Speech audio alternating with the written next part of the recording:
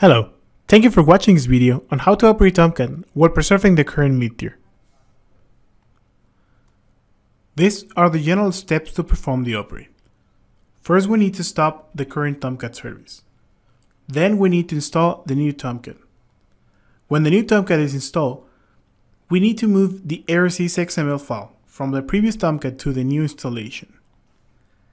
Then we need to configure the Java options and the ports to be used. Lastly, we need to update the file deployer settings. I'll walk you through this process in a minute, but first, let's take a look at the considerations to take into account while performing this process.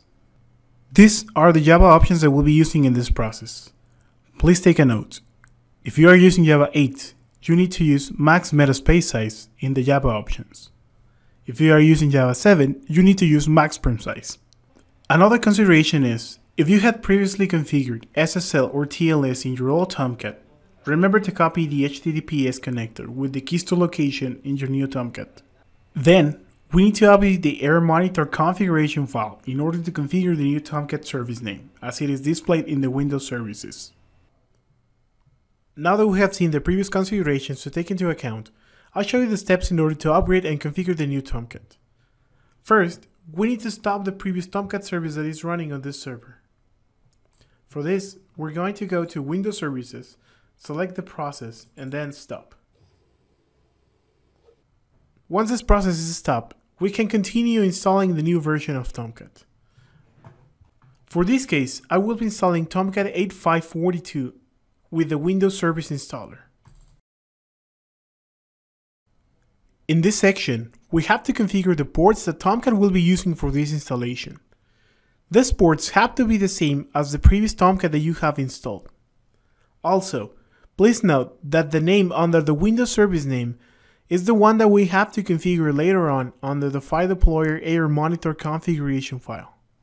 Now we have to configure the Java location that this Tomcat will be using.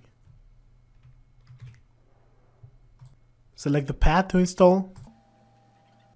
Once this installation is done, we need to unselect the two options and click Finish. Then, we need to configure the ARSys XML file that is under the previous Tomcat installation.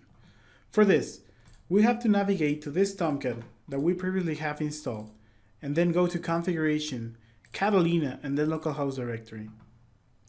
Under the new installation, we have to go to Configuration as well. As you will notice, we don't have the Catalina folder installed here. This is because the application or the server has not been started yet. What we can do is simply copy the Catalina directory that we have in the old Tomcat onto the new installation. This will contain the path to where Mid-Tier is installed. Now, we need to validate that the server XML files in the two Tomcats contain the same connector information. For this, we have to edit the server XML file in the two Tomcats. For this, you can just copy and paste the same connectors onto the new server XML file. And then just save. Once these files have been saved, we now need to configure the Java options to be used within the new Tomcat. For this, we have to open up the Tomcat properties that are located under the bin folder in the new Tomcat, and then double click on the executable file that contains a w.exe on the name. And then we have to switch to the Java tab and at the bottom of the Java options, we need to copy and paste the same Java options that we saw on the presentation. Also, make sure to adjust the Java heap size on, it, on this Tomcat. Then click apply and then OK.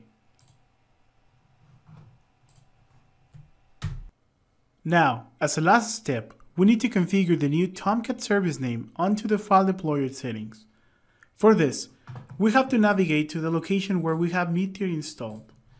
Then go to File Deployer, and then to Configuration, and open up the armonitor configuration file. In here, you have to update to the new Tomcat service name that we have configured before. And then just hit save. Once this has been saved, the last thing to do is go to the Windows Services and locate the Mid-Tier File Deployer service and restart it. Once the service is restarted, you can now start the new Tomcat service and now continue to log into Remedy as usual. If you require more information on how to properly configure Tomcat, please find the following documentation that will guide you through this process. Thank you for watching, and I'll see you in the next video.